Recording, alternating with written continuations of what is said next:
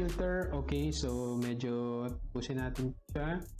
Uh, punta tayo sa H1. So let's say for example, ito yung gusto nating sort. Meron tayong data. Okay?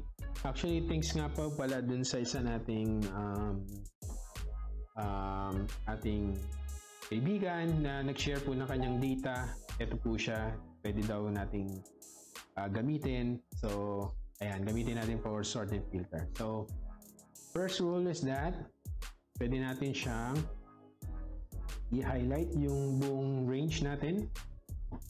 Okay, and then go to sort and filter, custom sort. So let's say for example, ang gusto nating i-sort is yung Facebook page likes na pinakamataas. Okay, so tingnan natin siya. So sort by Facebook page likes and then largest to smallest. So mapapansin mo, ito ni highest to lowest. Right? Pero what if kung gusto natin siyang baguhin, like um, according to state, and then yung city niya, for example, parang sunod-sunod. Okay, so try natin siya, ha? Again, highlight po.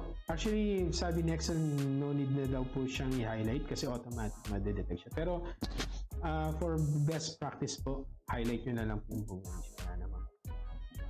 And then sort and filter, custom sort, and then delete natin to for example. Add level po natin. So again, ang target natin is state first, and then according order by A to Z. Okay?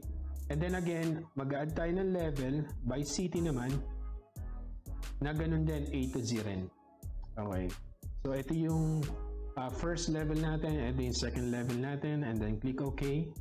So mapapansin mo, sa Northern Territory, meron tayong isang city, Alice Spring, sa data natin, and then sa New South Wales, ito na siya.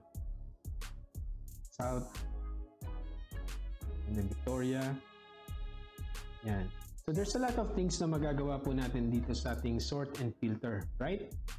Um, yeah, so yun lang. First, again, uh, kailangan mo lang i-highlight yung range.